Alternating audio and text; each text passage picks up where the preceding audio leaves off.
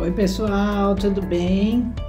É hora da gente começar a desapegar, dar uma olhada nos armários, dar uma olhada nas roupas, experimentar, olhar, experimentar sapatos, as roupas, dar uma ajeitada no armário, dar uma reorganizada. Eu acho muito legal a gente dar uma olhada na casa toda. Feng Shui adora ajudar ajudar as pessoas, porque ele acredita que quanto mais você ajuda o próximo, mais você terá para você. Quanto mais você compartilhar, mais mais prosperidade, mais harmonia, mais paz.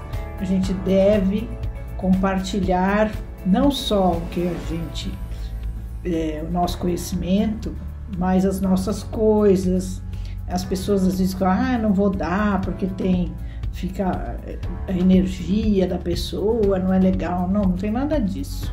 O Feng Shui diz, você tem que dar lavado, limpinho, arrumado, como se fosse um presente, porque afinal, para você não, você não usa mais, mas isso pode fazer muita gente feliz. Dá uma olhada no armário dos filhos, dá uma olhada no, no armário do marido, enfim, Dá uma olhada na casa toda, na parte de cama, mesa e banho também, vê se não tem toalha velha, se não tem cobertor, travesseiro, essas coisas todas, já vai separando, já vai colocando uma sacolinha bonitinha, olha, isso aqui para dar. Isso faz muito bem para a energia da pessoa, sabe?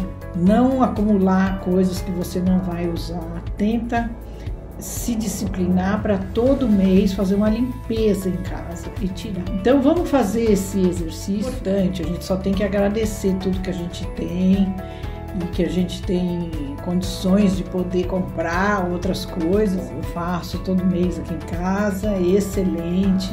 A energia muda e quanto mais a gente compartilha, mais teremos para nós. Quanto mais você compartilhar, mais prosperidade você vai ter, tá bom? Então esse é o meu recadinho de hoje.